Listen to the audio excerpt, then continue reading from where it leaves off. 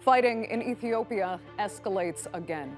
While Tigrayan forces accuse Eritrea of launching a full on offensive, the United Nations says civilians should brace for more atrocities. In a moment, we'll hear from the Ethiopian military's former chief of staff and current ambassador to Ankara. I'm Andrea Sanke, and today's newsmaker is Ethiopia.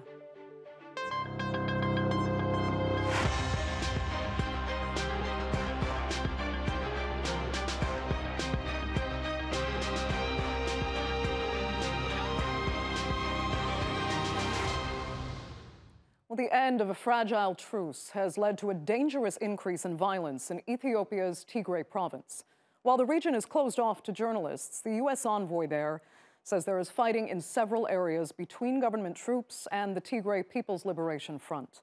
To complicate matters even more, the TPLF says Eritrea has sent its military over the border, a move the U.S. says only inflames an already tragic situation. In a report released earlier this week, the United Nations said war crimes have likely been committed and also indicated that some are ongoing. In a moment, we'll speak to Ethiopia's ambassador to Turkey, who previously served as the military's chief of staff. But first, this report on the current state of the conflict.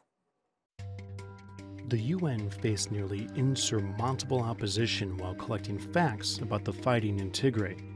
The Ethiopian government rejected investigators' access to areas outside of Addis Ababa. Sudan and Djibouti also blocked them from talking to Ethiopian refugees within their borders. And interviewing people in Tigray remotely was hampered by continuous telecommunications blackouts. And yet, investigators this week released their first report for the UN Commission of Human Rights Experts on Ethiopia. Its conclusion there are reasonable grounds to believe that parties to the conflict have committed war crimes and violations and abuses of human rights. Those crimes include the shelling of civilians and carrying out of extrajudicial killings. They also say Ethiopian troops raped and sexually abused civilians since the conflict began in November of 2020. The Commission also suggested that Addis Ababa uses starvation as a weapon by restricting humanitarian aid into the Tigray region. The tactic has left millions of people in dire straits. However, Ethiopia's government has rejected the accusations.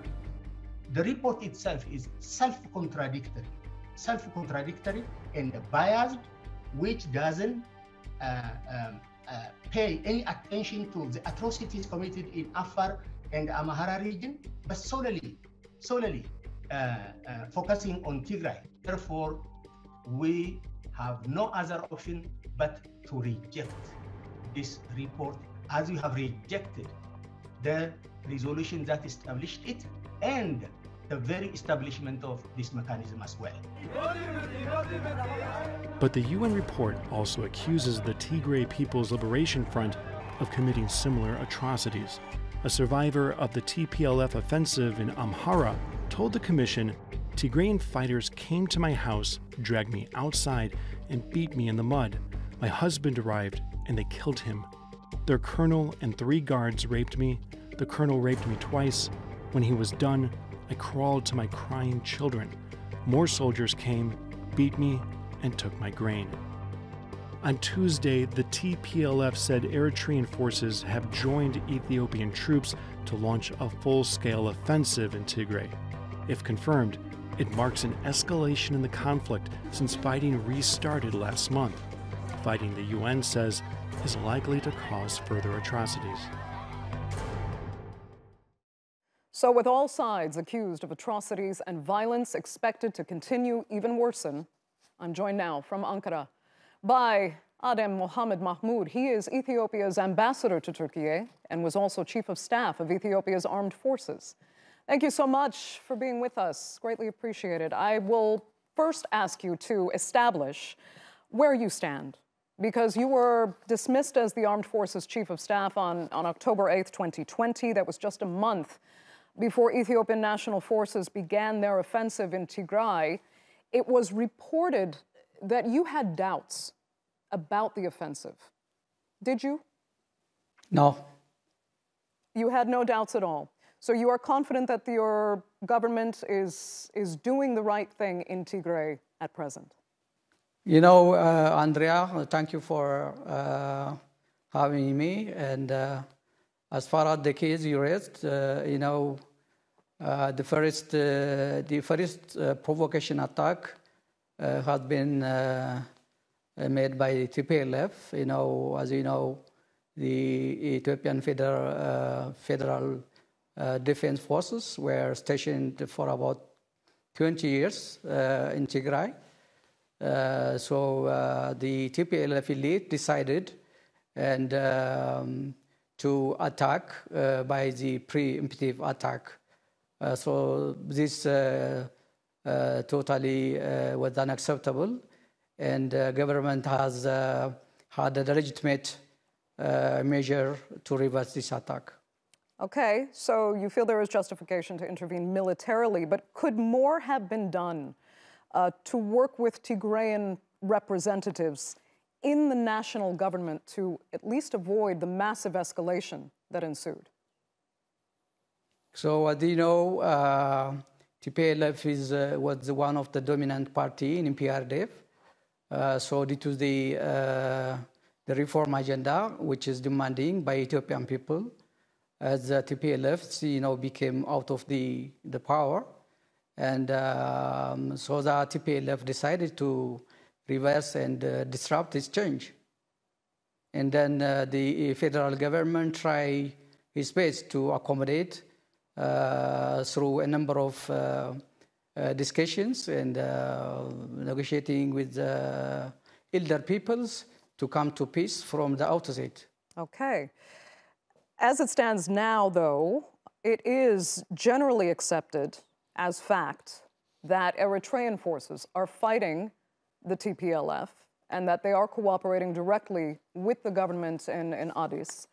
Some even say that this was part of the, the government's own cynical plan all along to make peace with Eritrea to ensure its support in any future conflict with Tigray. Is there, is there any truth to that?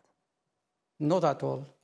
You know, uh, the Ethiopian government uh, one of uh, the reform agenda is to achieve a sustainable, a sustainable peace in the country.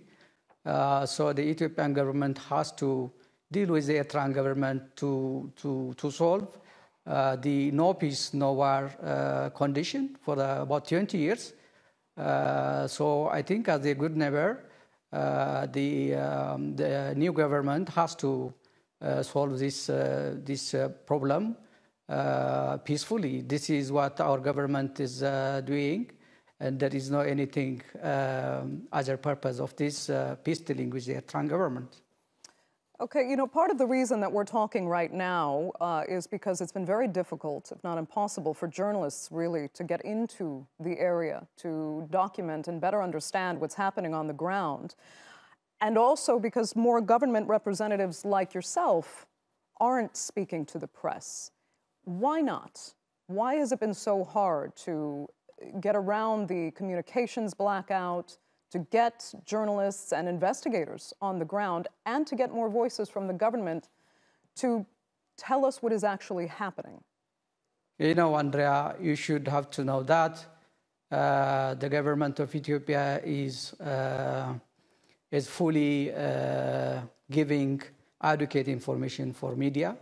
Uh, as far as I know, uh, since you know uh, began the the conflict in 20 November 3, 2022, 2020, sorry, 2020. as far as I know, our government is very transparent and accountable for uh, media organization, including for his people. Uh, I don't know. Um, I don't have any uh, any evidence for this to justify um, blocking any any uh, any journalist to go to this conflict area. Uh, but this time, do, do you honestly have it's, no it's knowledge of that? Understand because that, it's, it's been widely reported um, how many correspondents have not been allowed in. No, no, no. No, no, no. You, you, know, you have to you have to know the circumstances of uh, the situation on the ground. So uh, Ethiopian government doesn't have any effective control at all in this conflict area, especially in Tigray. So uh, the Ethiopian government, I think, uh, doesn't doesn't give anything, any any information about the situations right now inside Tigray. So uh, the Tigrayan um, fighters have to uh, do this and responsible for this to to inform uh, for the international communities. Okay, it's it's what people don't understand is in order to get into Tigray, you basically have to go through Ethiopia, and that's where journalists are being blocked. They can't even get the passage through Greater Ethiopia to get to Tigray to be able to report and, and find out what is actually going on. Um, let me ask you, though, moving forward, we need to talk about how, if at all, peace. No, as, far, as far as far as far as I know, as far uh, okay, as far as I know, Andrea, sorry, uh, as far as I know, there is no any any demand from. Uh, uh, your station or from anywhere asking to go to Addis Ababa or to interview, interview anybody uh, to, uh, to give you any information about this. And for future, I can guarantee you this, uh, as there is, no, there is no any, any obstacle or restriction for this. Okay, well, we'll look forward to that then and see if more, more journalists can get in to actually see what is happening. But in, in the meantime, we, we wanted to discuss as well with you how peace can be restored, um, if it can, because the sad truth, I will put this to you, is that many think the solution lies in the so called balkanization of Ethiopia, first by even allowing Tigray to secede. Is that at all being discussed as a possibility in the capital? Or are Ethiopian national forces and the government ready to fight until the very end?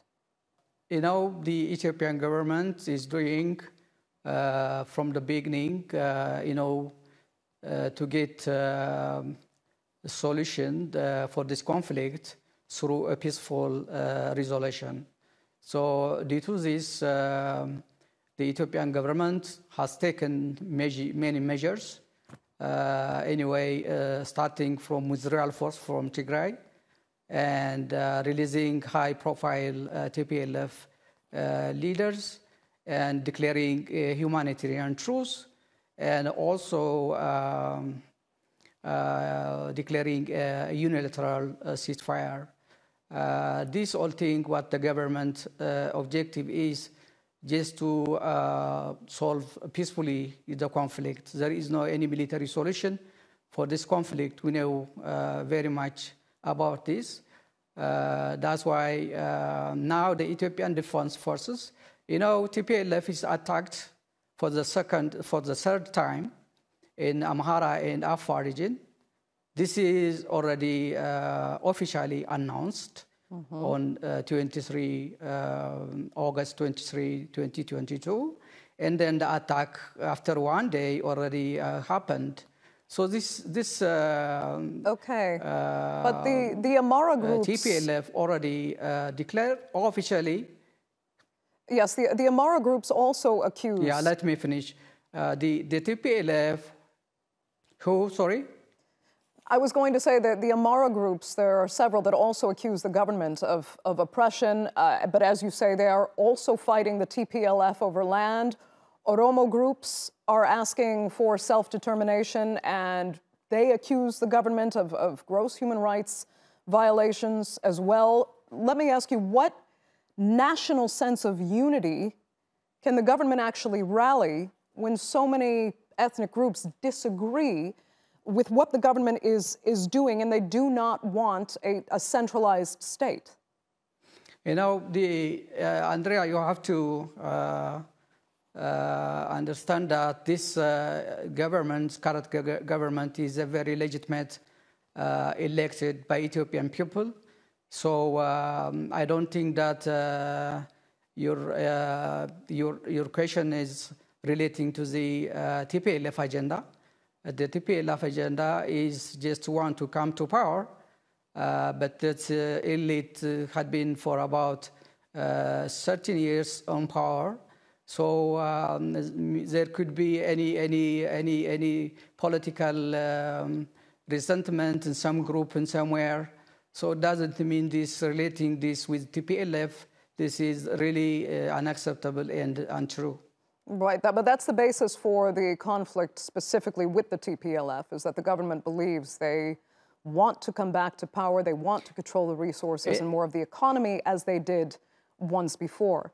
But I was also bringing up the fact that there are other, several other ethnic groups yes. that disagree with the government. And it seems that the country, in some ways, people argue, and that's why we've heard the term balkanization uh, with so many groups and ethnic groups looking for self determination, I was asking how the government can go about really rallying support nationwide for the government in Addis Ababa? Or is it going to have to keep fighting various groups across different parts of the country? Uh, you know, uh, I again want to explain uh, my government is a legitimate elected government uh, by the 80% of the population of Ethiopia. So uh, there could be any group who uh, dislikes this government or any uh, concern uh, or any uh, agenda, but it's really um, it's not acceptable to say to relate this kind of things in our side. But still, my government is ready for inclusive dialogue uh, for any Ethiopians, whatever um, uh, organized at society level, whatever. If there is any consent, any any um, consideration for the country who want to see, I think my government already ratified a law uh, to uh, and elected uh, organized committees to facilitate this national-based uh, comprehensive inclusive dialogue. Okay. This is uh, the main and basic uh, uh platform that the government already committed and doing this one. Uh, okay. again, on this, on this, on this, in addition to this, you know, the Ethiopian government also is ready to negotiate with the with the TPLF. This already many times stated and declared but the TPLF, nothing reciprocate the government uh, peace call. Okay, Ambassador Adem, very unfortunately, we're going to have to leave it there. I'd like to thank you so much for joining us on the Newsmakers. Now to the UK, where recently declassified documents revealed that London employed a secret spy unit called the Information Research Department to discredit America's Black Power movement of the 1960s. And it did so in part with a smear campaign against civil rights leader Stokely Carmichael. Carmichael was a young, charismatic speaker who often faced harassment from U.S. officials. In 1969, he sought refuge in Guinea, where he advocated for socialism and Pan Africanism. Now, this worried the Crown. And in response, the Brits set up a fake Black Power organization. It produced pamphlets portraying Carmichael as an outsider who had deserted his own people back in the United States. So, six decades later, what have been the consequences of the Information Research Department, and to what extent and what end do similar efforts exist today? And joining me now to discuss that are from Amherst, Massachusetts. Stefan Bradley, he is a professor of Black Studies and History at Amherst College and the author of Upending the Ivory Tower, Civil Rights, Black Power, and the Ivy League. And from Liverpool is Rizwaan Sabir. He is an assistant professor in criminology at uh, Liverpool John Moores University and the author of The Suspect Counterterrorism, Islam, and the Security State. Thanks both so much for being with me. It's you know remarkable how this case actually resonates today with the cause of, of black equality and empowerment being still very much alive, in part, you know, because previous movements were not allowed to succeed. So how damaging was the Information Research Department, you know, for the cause of the black rights struggle. Stefan, go ahead. Yeah, well, what we're talking about is something that's uh, part and parcel of a, a, a, longer history of attempting to neutralize uh, Black freedom movement. So you could go back as far as, as Marcus Garvey and the efforts of, of the information uh, bureaus in the United States, uh, as well as those in France and, and uh, Great Britain, looking to to uh, disarm the movement in many ways. And so the idea was to neutralize what they thought of as as a potential black messiah. Mm-hmm. So the the problem with this is the different disinformation campaigns that occurred through the 1950s and 60s. So I was talking about this longer history. Malcolm X was surveilled in many ways uh, by similar groups, both here in the United States and abroad. Uh, and so the issue is when when the the, the disinformation uh, is dispersed to to to various elements of the movement, it causes confusion uh, and allows for disruption right. um, but do you think the groups at, at, the time, Stefan, I mean, if the communist threat, if the Cold War hadn't existed, mm-hmm. would these same departments have been created?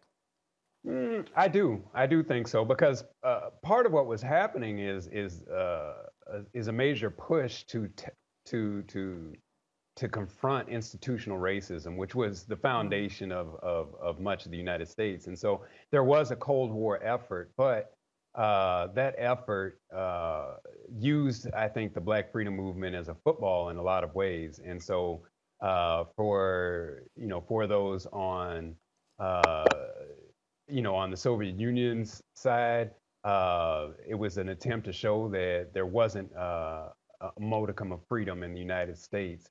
Uh, for those in the United States, uh, okay. you know, those who who came against the United States were considered, you know, communist and and uh, or communist inspired. Right, Rizwaan, tell us a little bit more about why you think the UK specifically wanted to hurt, you know, Black Power movements. What did it fear?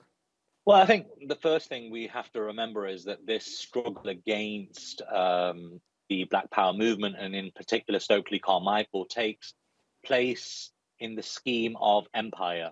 Mm. So the British Information Re- Information Research Department are very, very anxious and concerned that the message that Stokely Carmichael is spreading in Africa may quickly seep over into the British colonies in the Caribbean and may well incite uh, other individuals to align ideologically with him.